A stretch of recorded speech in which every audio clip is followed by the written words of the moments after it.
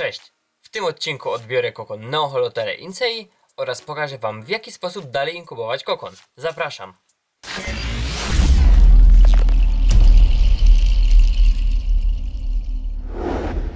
Przed nami samica Neoholotele Incei, która złożyła kokon 21 dni temu, więc idealny czas, aby go odebrać. Więc pokażę Wam jak odbieram kokony oraz jak zrobić inkubator. Na początek wiadomo, musimy sobie otworzyć. No i teraz pozostaje nam znaleźć, gdzie samica siedzi z kokonem. O, i w moim przypadku jest to tam.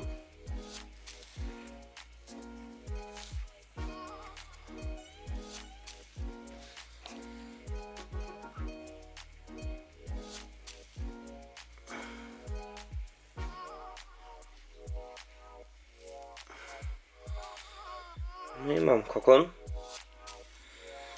Całkiem ładna kuleczka. Jest to wtórniak w dodatku, więc e, super. I teraz nie zapominajmy o tym, że e, po kokonie wrzucamy samicy karmówkę oraz dajemy jej dość trochę wody, ponieważ po kokonie samice są ogromnie wycieńczone, więc żeby po prostu nam nie padły.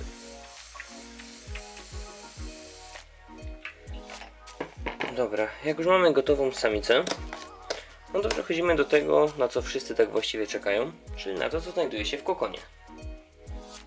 Po 21 dniach powinny być już to nimfy dwójki.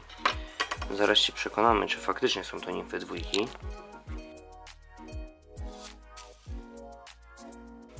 Dokładnie tak. Jak widzicie, cały kokon nimf dwójek no i teraz Wam pokażę w jaki sposób je dalej inkubować do L1. Inkubator polecam robić z takich pojemników. Jedynie co teraz trzeba zrobić w nim to odpowiednią wentylację. Więc jak ja robię? Robię dziurki mniej więcej na każdym takim e, wytłoczeniu, które się znajduje na tym pojemniku. I wtedy mam gdzieś po 5 dziurek z każdej strony. Nie jest to za dużo, nie jest to też za mało. Yy, Myślę, że jest to w sam raz.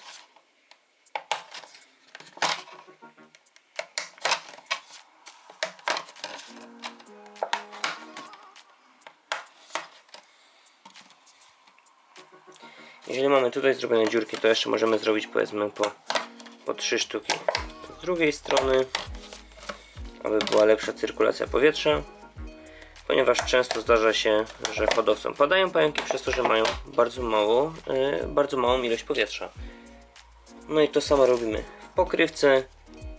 Tutaj już całkowicie na oko. Mniej więcej po 4 sztuki w rzędzie.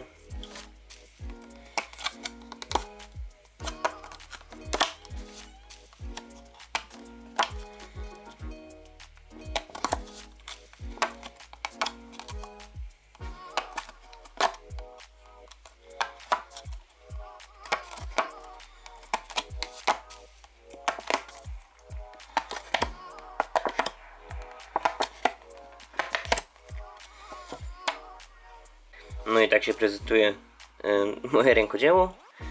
No i teraz co dalej zapytacie? Więc do tego pojemnika ja zawsze umieszczam na spodzie torf. No i teraz w takim pojemniku umieszczamy wilgotny torf.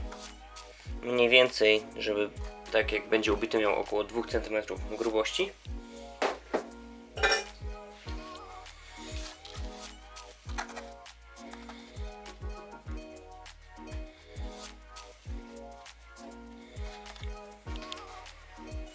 No i teraz możemy go jeszcze odrobinę spryskać.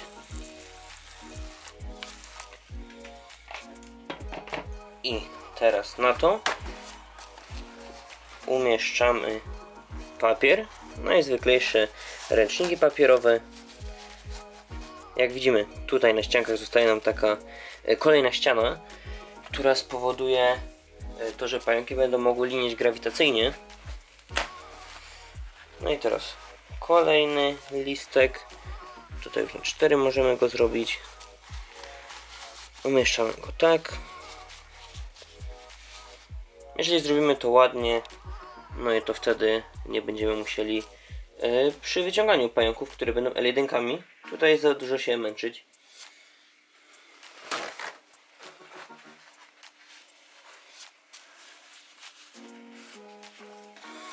Jeszcze jeden dam.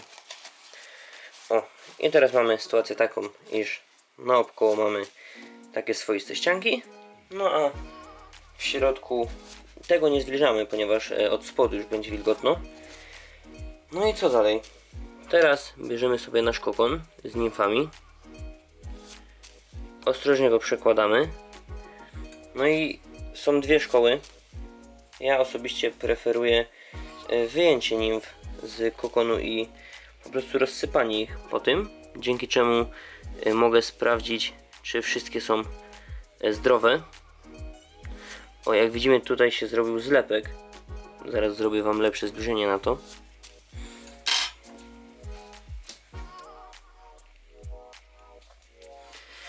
No i tutaj widzicie ten taki zlepek, który powstał. Jeżeli byśmy ich nie wysypali, no to prawdopodobnie by zaczął gnić by się zrobiło nieciekawie. Za chwilę przejdziemy do rozdzielania nimf, które są w nie posklejane. A teraz skupmy się, aby wysypać wszystko z kokonu. Jeżeli któreś nimfy nie chcą wypaść, używamy miękkiej pensetki. No i najzwyczajniej w świecie po prostu przerzucamy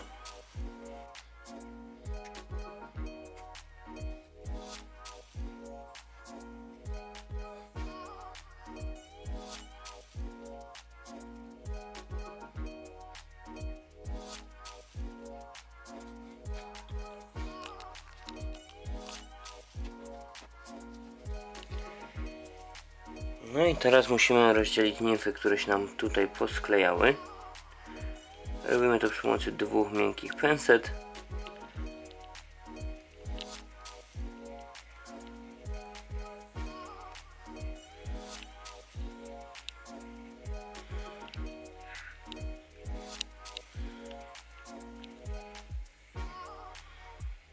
Jeszcze nawet się ostały dwie nimfy jedynki.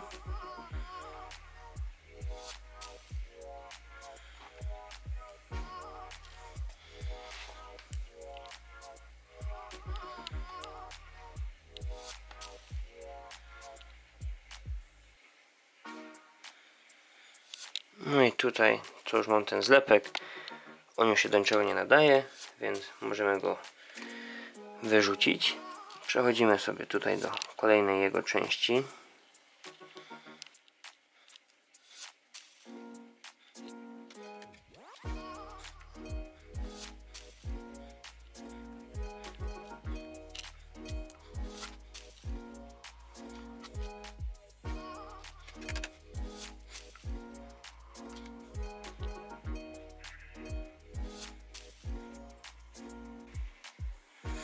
No i to było na tyle żywych nimf, które ostały się w tym zlepku. No i teraz pozostaje nam wybierać takie drobinki, które mogłyby się przyczynić do pojawienia się ewentualnej pleśni.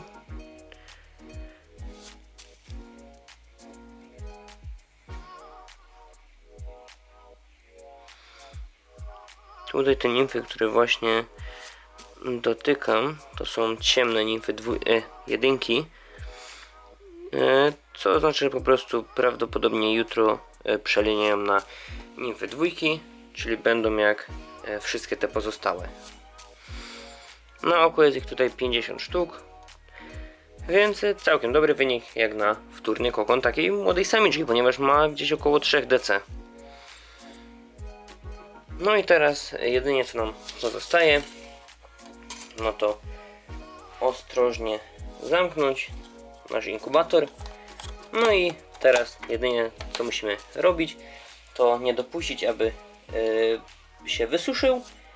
No i czekamy na L1, które powinny się pojawić za jakieś 2-3 tygodnie. To by było na tyle w tym odcinku. Nie zapomnij zostawić subskrypcji oraz łapki w górę. W komentarzu napisz swoją propozycję na następny odcinek. Dzięki za obejrzenie, Piona.